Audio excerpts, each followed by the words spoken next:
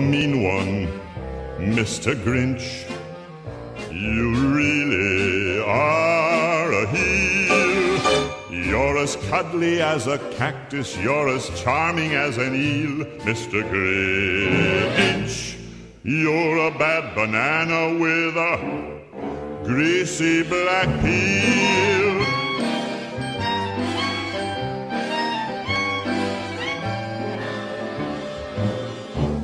You're a monster, Mr. Grinch.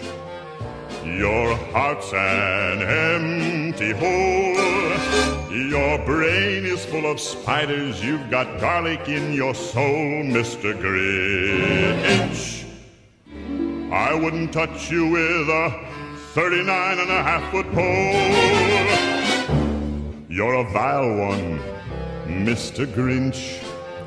You have termites in your smile. You have all the tender sweetness of a seasick crocodile, Mr. Grinch. Given the choice between the two of you, I'd take the seasick crocodile. You're a foul one, Mr. Grinch.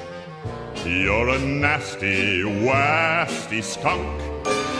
Your heart is full of unwashed socks. Your soul is full of gunk, Mr. Grinch. The three words that best describe you are as follows, and I quote Stink, stank, stunk. You're a rotter, Mr. Grinch. You're the king of sinful sots.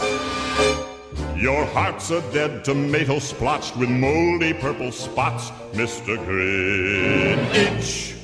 Your soul is an appalling dump heap, overflowing with the most disgraceful assortment of deplorable rubbish imaginable, mangled up in tangled up knots.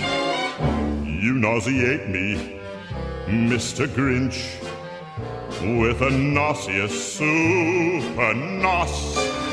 You're a crooked jerky jockey and you drive a crooked horse, Mr. Grinch.